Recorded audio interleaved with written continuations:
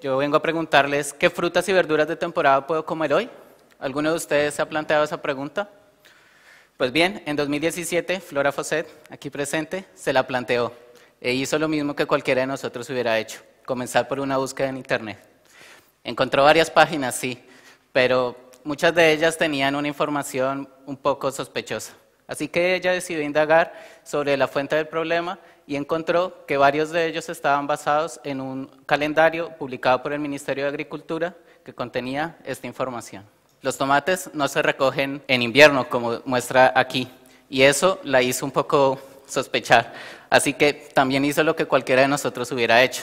Escribió al ministerio y a otras fuentes oficiales para tratar de averiguar el error y, si fuese posible, corregirlo. Sus esfuerzos fueron infructuosos. Pero afortunadamente aquí en Media Lab estaba abierta una convocatoria y allí ella pudo proponer su idea, crear un calendario de productos de, temporada fácil de usar y fiable.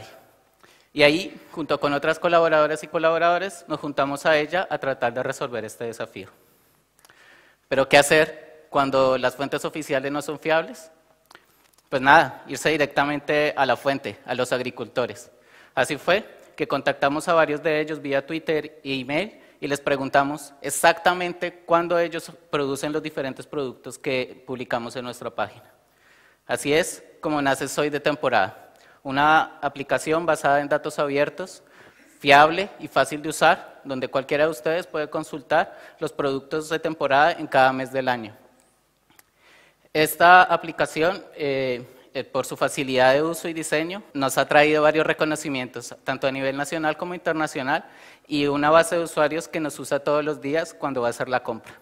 Sin embargo, lo más importante es que, eh, gracias a una campaña que hicimos en su momento, el Ministerio de Agricultura cambió el calendario que publica en su página web a uno que al menos dice que claramente que es lo que ellos dicen es eh, los tiempos de comercialización y no cuando se producen los productos. Entendemos que esto no era precisamente lo que queríamos, pero al menos eh, nos está eh, desinformando a la, ciudadanía. Pero bueno, y si pudiéramos hacer algo más para mejorar nuestro consumo responsable, si pudiéramos saber eh, cuáles son los costos medioambientales de consumir local y de temporada frente a la producción industrial, pues esas fueron las preguntas que nos llevaron a plantear ese proyecto, de la semilla a tu plato, en la convocatoria del taller de periodismo de datos en, en Prado este año. Allí, junto con otras colaboradoras y colaboradoras, nos hicimos preguntas como esta. ¿Cuánto CO2 se emite la producción de un kilo de tomates? Y para responderla intentamos encontrar variables que pudiésemos medir y comparar para diferentes productos de la canasta familiar española. Nos dimos cuenta que eso no era tan fácil como parecía, pero sin embargo lo intentamos y tratamos de definir algunas variables para las fases de producción, transporte y distribución. Y, sentar las bases de una metodología que pudiera eh, ayudar a otras personas a pensar estas preguntas.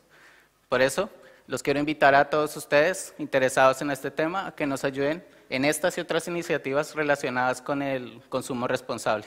Aquí en el Media Lab seguro vamos a encontrar un espacio para discutir y compartir. Gracias. Gracias.